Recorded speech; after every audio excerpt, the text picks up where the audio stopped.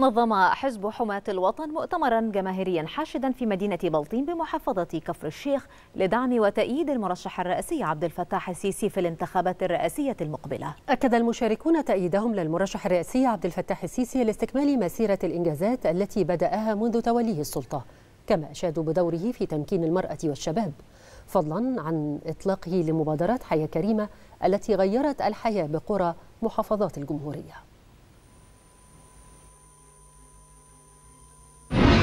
كأن الذي ساعدنا على هذا الحشد هو السيد الرئيس عبد الفتاح السيسي نفسه بما اتخذه من قرارات وإجراءات تتعلق بالأزمة الأخيرة الخاصة بتداعيات الحرب على أهالينا في فلسطين. تلك الوقفة الشجاعة التي وقفها السيد الرئيس أكدت أن مصر بها قائد وأنه لا يوجد في المنطقة وبحق وبموضوعية سوى قائد واحد. هذا القائد الذي يحافظ على الثوابت ولم يتخلى عنها طوال حياته كما لم تتخلى الدولة المصرية عن واجبها تجاه القضية العربية. جمع عظيم وهائل من أبناء البرولوس مبايعة وتأييد للسيد الرئيس عبد الفتاح السيسي لاستكمال المشوار.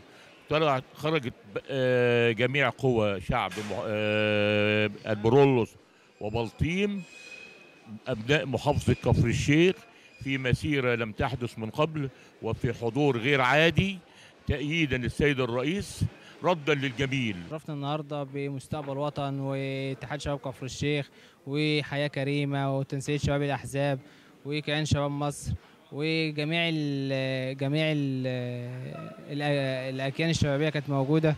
والشباب شباب الجامعة وشباب الخريجين كانوا موجودين لدعم السيد الرئيس عبد الفتاح السيسي وإحنا عايزين نقول له كمل وإحنا وراك وإحنا اولادك مش هنسيب